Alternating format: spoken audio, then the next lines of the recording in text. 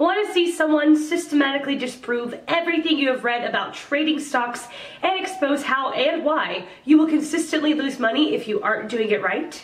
Click the link in the description to check it out for yourself. But now for today's video. The question, how do you pick stocks for intraday futures? Answer by Abhishek Kar. So, many people have been allured by the Indian stock markets, especially because of the incredible returns they have delivered in past year. On one hand, there are stocks like RCOM which went up by 5,060% in just two sessions, while Infibeam which fell more than 40% in the last session. On account of such moves, most people think what if we can catch such moves and make a killing? Unfortunately, the possibility of getting such stock moves on a daily basis is not possible. But volatility is what day traders seek. Based on the question, here are the four stocks which I believe one can trade daily or on most days to get amazing returns. Remember by trade I mean both short and long. Before I mention about that, let's understand which stocks are the best when it comes to intraday trade. For intraday trade the best stocks are those who demonstrate the following qualities. Trade trending stocks.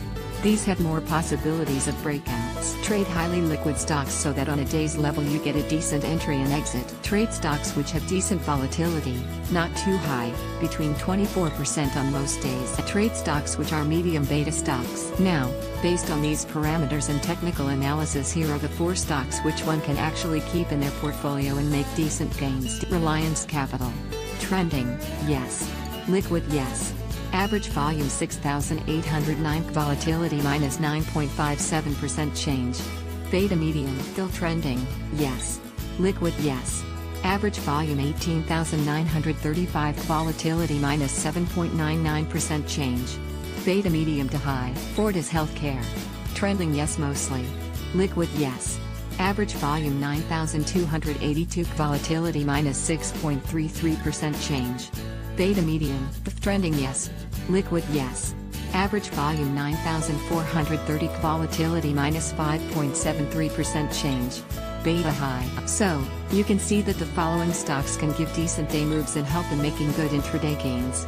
For reference, here's what we made in the last session until 45,000 gains in a single day swing is never bad. And seen it? Now some words of caution based on my decades experience in the markets. No one makes gains every day in intraday. You can't trade the same stocks all your life.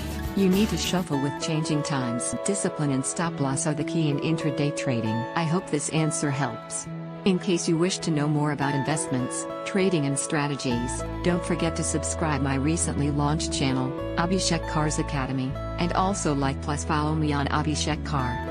If you like the answers, make sure you leave a review there. Always happy to help. AK Trade Guru. Answer by Tejas Khoday. Trading is a play on momentum. So it is important to choose stocks which have momentum during the day. There are over 1600 plus stocks listed on NSE and it's practically impossible to identify the opportunities across all of them. Hence, most traders follow 20-30 stocks in which they feel they can identify profitable short-term opportunities. Although widely practiced, it is not the most efficient way of doing things. The best way to choose stocks for intraday trading is by using technical screeners. Our in-house trading platform FYERS One has inbuilt scanners which helps traders take informed decisions.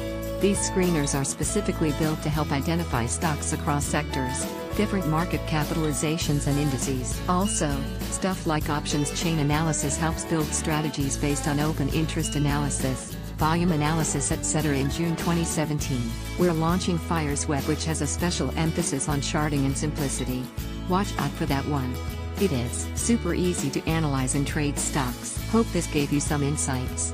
Enjoy your weekend. Answer by Surya Kamal. Best stocks are not available off the shelf. Best stocks are often hidden in the heap of other stocks. One must learn to screen their best stocks from the heap. This is what is called as stock screening. First identify 50 undervalued stocks by yourself to analyze further. Finding stocks to analyze is something many investors struggle with, but it is really not that hard. Internet has provided us with an information overloaded and there are thousands of stocks listed. But the internet has also provided us with powerful tools to filter out the garbage.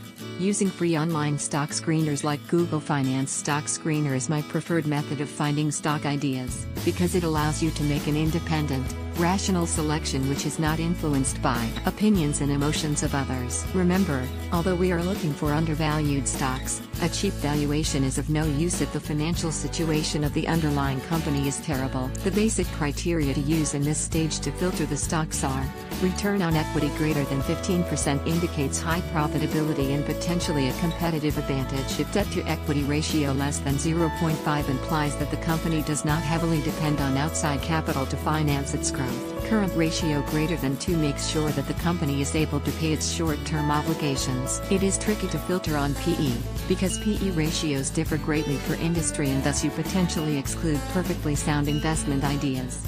On top of that, PE in itself does not say much about whether or not a company is undervalued with respect to its intrinsic value. Sometimes I do add dividend yield greater than 1% as a criteria, because I like receiving a steady dividend income. Once you have determined your criteria, then you can do the following. Once you have determined your criteria, use Google Finance Online Stock Screener and try to end up with around 50 stocks that matches your above criteria. Make your own list of favorite stocks that comes under the above criteria. Track them using Investment Portfolio Tracker. When price of these stocks fall by 15 to 20%, grab them. This is the easiest way. How to use the Google Finance Stock Screener and Portfolio Tracker. My personal favorite.